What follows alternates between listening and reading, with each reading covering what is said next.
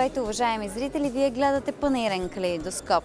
В предаването днес ще ви представим акценти от старта на прояви, посветени на семейството, модата и красотата, които продължават до 24 март в Международен панаир Пловдив. 93 фирми от 8 държави се включиха във втория европейски панир на социалните предприятия за хора с увреждания. Той бе открит от заместник министра на труда и социалната политика Иванка Шалапатова.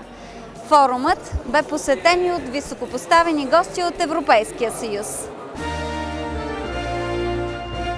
Международен панир Пловдив. Създаваме нови възможности. Панирът на социалните предприятия и кооперации за хората с увреждания е уникален в рамките на Европа по своя облик и акценти. Затова се развива изключително бързо, каза в словото си главният директор на Националния изложбен център Иван Соколов. В него вече се включват нови структури, работещи в сферата на социалните услуги. Разширява се и чуждестранното участие. Присъстват много международни сдружения, както и национални обединения от няколко европейски държави. Панира на социалните предприятия и кооперации за хора с увреждане тази година е част от Европейски форум за социално предприемачество. Така ще отворим нови шансове за изява на хора, които не са в равностойно положение, но и по дух и по активност не отстъпват на всички нас. Техните предприятия не са познати с лъскави офиси и скъпи реклами, но не са по-малко конкурентни от другите. Този бизнес има устойчиво присъствие в европейската економика и то ще се разширява, защото е част от стремежа за изграждане на едно по-различно и по-силно общество. Кризата, която преживяваме, ни накара да погледнем и към социалната страна на бизнеса. А Европейския панир на социални предприятия и кооперации за хора с увреждане е инициатива, фокусирана именно върху нея. За нас е чест че Международен панир Пловдив е партньор и домакин на проява от такъв мащаб. На всички участници пожелаваме ползотворни срещи и нови успехи. Европейският панир на социалните предприятия за хора с увреждания в Пловдив привлече вниманието на Европейската комисия със своя предприемачески характер, подчертава в приветствието си генералният директор на Европейската конфедерация на производствените кооперации и социални предприятия Бруно Роландс. През последните две десетилетия видяхме голям напредък в правата, които се дават на хората с увреждания. Те имат много по-добър имидж в Европейския съюз сега, имат по-добри права в смисъл на предвижване и ги виждаме в най-различни дейности. Но все още трябва много да се направи, за да може хората с увреждания да постигнат това, което е свързано с работата им в економически аспект – Българските и другите европейски предприятия, които участват в тази инициатива, са свършили много работа, за да се постигне нещо в тази насока. Ние не говорим за каква да е работа, а за работа, която е с висока степен на стабилност. Ние говорим за работни места в действителни предприятия, които са конкурентоспособни на пазара, където хората с увреждания имат своя глас и в които те действително могат да бъдат социално интегрирани – това, което е привличало в продължение на десетилетия вниманието на Европейската комисия е, че имаме нужда не само от социални политики, но и от предприемачество. И ние сме щастливи, че вниманието на Европейската комисия е привлечено от това събитие в Пловдив, което има и предприемачески характер. Но ние трябва да направим още много в следващите десетилетия в областта на предприемачеството, за да може всеки човек с увреждания да получи действителна работа и възможност за реализация. Приветствие към участниците във втория Европейски панер на социалните предприятия за хора с увреждани отправи и апостол Кимидис, както от своя, така и от името на вице-президента на Европейската комисия.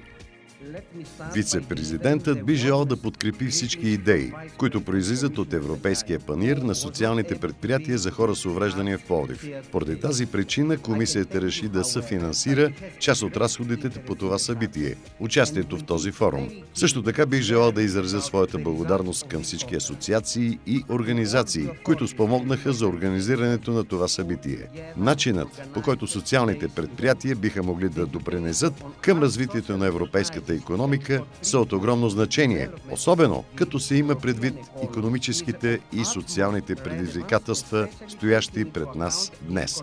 Социалните предприятия са изиграли огромна роля в световната економика през 20 век. Но за съжаление загубиха голяма част от вниманието, което им се отделя през последното десетилетие. Последните години, когато те преживяват безпредседентна економическа криза, това започна да се променя. Социалните предприятия могат да действат като движеща сила в социалните промени, като предлагат иновативни решения и по този начин дават ценен принос към Европейската стратегия до 2020 година. Бих искала този форум в Пловдив да остане изключително успешна традиция и тя да генерира винаги повече и повече резултати, защото силата е в нас хората. С тези думи заместник министърът на труда и социалната политика Иванка Шалапатова приветства участниците във втория европейски панаир на социалните предприятия. От името на Министерството на труда и социалната политика бих искала да подчертая важната роля и принос на социалното предприемачество в насърчаване реализацията и активното участие на хората в неравностойно положение в обществения дневен ред. Нека не забравяме, че социалното предприемачество е много добра мярка за справяне с негативните нагласи към хората в неравностойно положение. Това са нагласи към различните хора, към тези, които често биват определени в нашата страна като хора с дефицити, а не като хора с неоткрит потенциал. България все още е в преход на ценности и нагласи към тези групи. Ние като общество все още се борим с негативните нагласи към хората с увреждания и най-вече към децата с увреждания. Но се надявам, че всички добре осъзнаваме, че справянето с тези нагласи не е въпрос само на държавна политика, но това е и въпрос на лично отношение и, и ангажимент на всеки гражданин. За втора поредна година Европейският панаир на социални предприятия и кооперации за хора с увреждания се проведе в Международен панаир Пловдив. Тази година в него се включиха 93 фирми от 8 държави, с 11% повече спрямо миналата година. Експозициите са организирани от Европейската комисия, Министерството на труда и социалната политика, Агенцията за хора с увреждания, Националния съюз на трудово-производителните кооперации и Международен панаир Пловдив. Изложението се провежда в 6-та палата на Националния изложбен център. Експозициите са отворени от 9 до 18 часа, а в последния ден на изложението 24 март до 14 часа.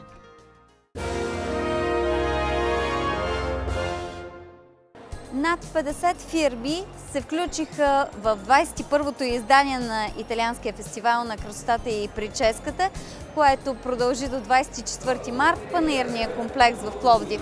Повече за него ще видите в следващите минути.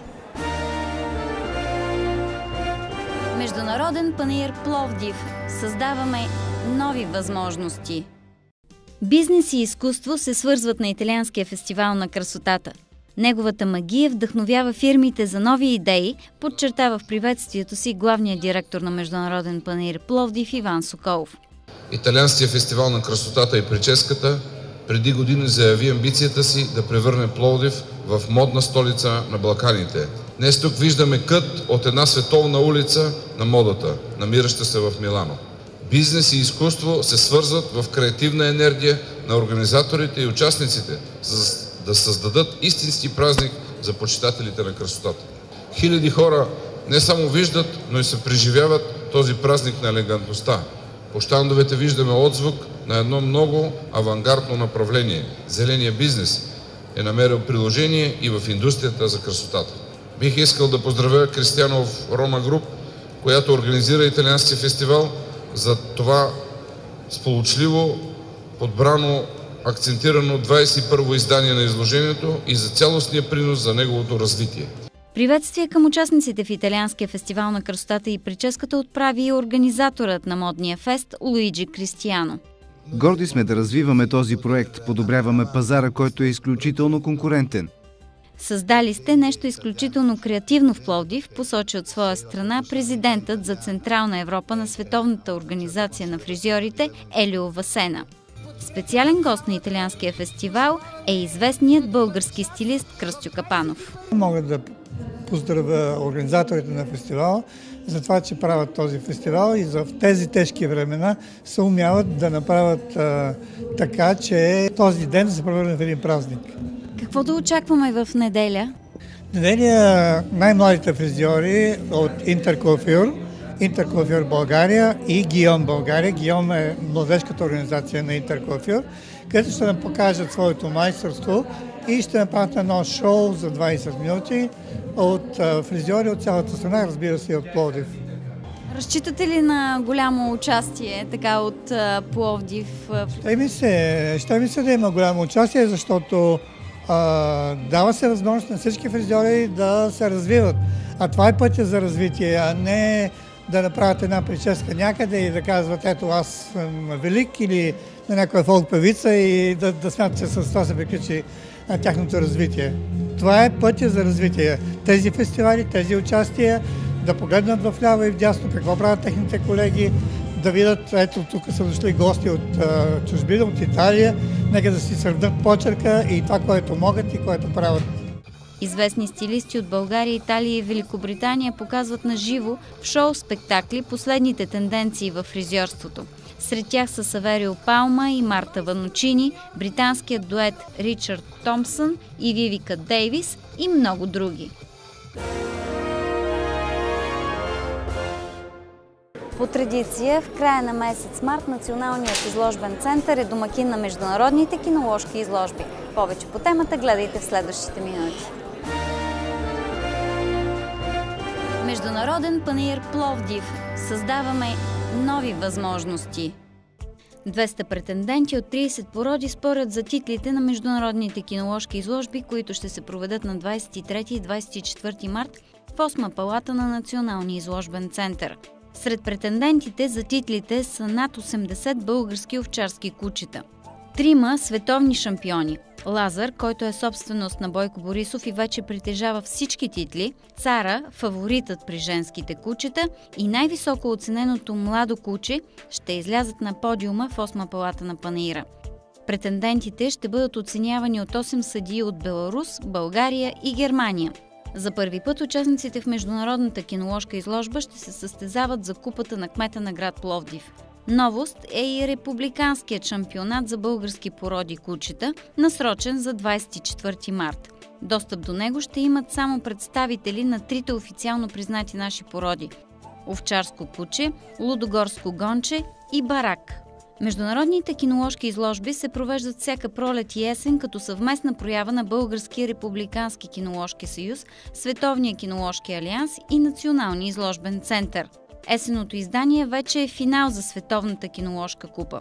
Международен панир Пловдив бе определен за домакин на престижната надпревара за 5 години.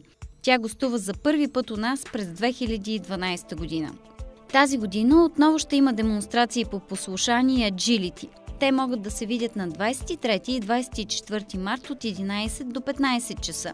Сетът ще бъде на разположение на желаящите водачи с кучета от публиката, които искат да се включат в шоуто, а участието е безплатно. Също в събота и неделя ще се извършват оценки за признаване на породност и за издаване на бяло родословие. Ще има и конкурси за дете и куче, развъдна двойка и развъдник. Международен панир Пловдив. Създаваме нови възможности. Гледайте и следващото ни предаване, в което ще ви срещнем с изложители, участвали в проявите, посветени на семейството, модата, свободното време и красотата в Международен панаир Пловдив. Благодаря ви, че избрахте панаирен калейдоскоп и нова българска телевизия.